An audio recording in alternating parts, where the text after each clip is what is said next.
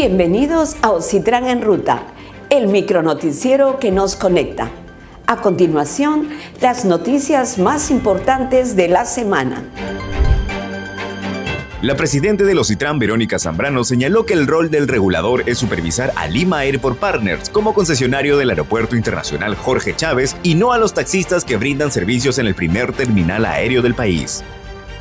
La entidad encargada de supervisar las normas dadas en la playa de estacionamiento del aeropuerto Jorge Chávez es la empresa LAB que tiene la concesión de dicha infraestructura.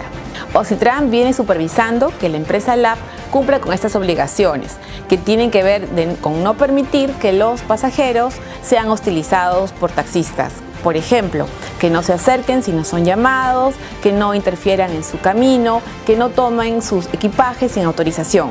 Ocitran viene permanentemente supervisando esta circunstancia que corresponde, como ya indiqué, que se dé cumplimiento a través de la propia empresa concesionaria. La titular de los Citran resaltó que el AB tiene la obligación de supervisar a los taxistas para que cumplan con las condiciones y reglas generales para el uso de la playa de estacionamiento del primer terminal aéreo del país que entró en vigencia el pasado primero de febrero.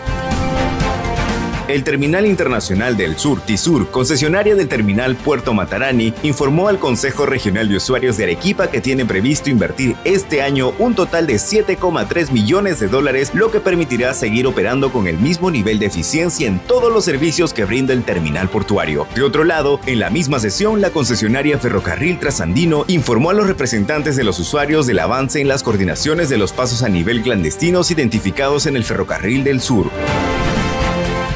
Las inversiones valorizadas en las infraestructuras concesionadas de carreteras, puertos, aeropuertos, vías férreas y metros sumaron 69,4 millones de dólares durante el primer bimestre del año. Destacó el sector aeroportuario con una inversión de 42,4 millones de dólares liderada por Lima Airport Partners, que destinó alrededor de 27 millones al proyecto de ampliación del Aeropuerto Internacional Jorge Chávez. La inversión en el sector portuario superó los 18 millones de dólares liderada por DP World Callao con 16,7 millones para obras en el nuevo terminal de contenedores Zona Sur y seguida de la concesionaria Terminales Portuarios Eurandinos, que colocó 1.200.000 dólares para mejoras en el terminal portuario de Paita. Las inversiones en el sector de carreteras alcanzaron los 6,6 millones de dólares con la red Vial 4, Irsa Norte e Irsa Sur Tramo 4 como principales actores, enfocadas en obras de infraestructura vial en diversas regiones del país. Si te gustó el programa, dale like y síguenos en nuestras redes sociales. Nos vemos en la ruta.